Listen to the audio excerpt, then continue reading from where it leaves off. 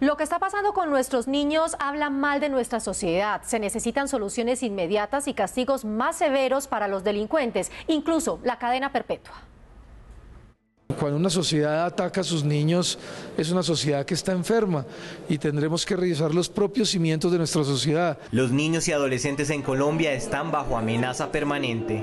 Todos los días Colombia debería estar de luto porque todos los días muchos niños sufren de golpizas brutales, de violencia sexual, de asesinato. Todos los niños colombianos están en riesgo.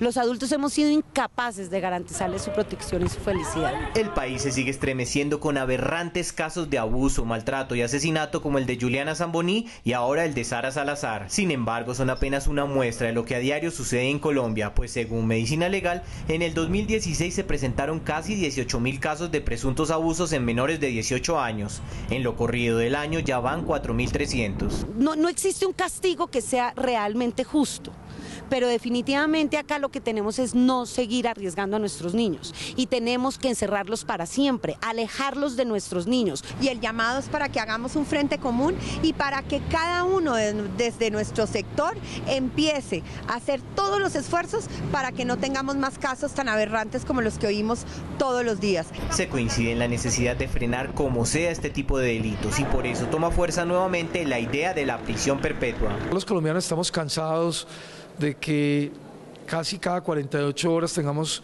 niños violados, niños muertos, lo que sucedió este fin de semana en Arauca, en el Meta, lo que sucedió en Tolima, en Armero, la verdad nos llena de dolor y estamos impotentes. Creemos que esa cadena perpetua se tiene que hacer. Una de las abanderadas de la cadena perpetua para violadores y asesinos de niños fue la ex senadora Gilma Jiménez. Hoy su hija Joana impulsa la recolección de firmas para llevar esta iniciativa a las urnas. Ya llevamos cuatro meses recogiendo las firmas del referendo de prisión perpetua para violadores y asesinos de niños. La propuesta de mi mamá Gilma Jiménez, quien murió batallando más de 10 años esta propuesta. Coincide en el que el principal obstáculo que tienen para frenar los abusos es el olvido de la sociedad. Nos indignamos, lloramos tres días y hasta luego. Ya se nos olvidó Juliana.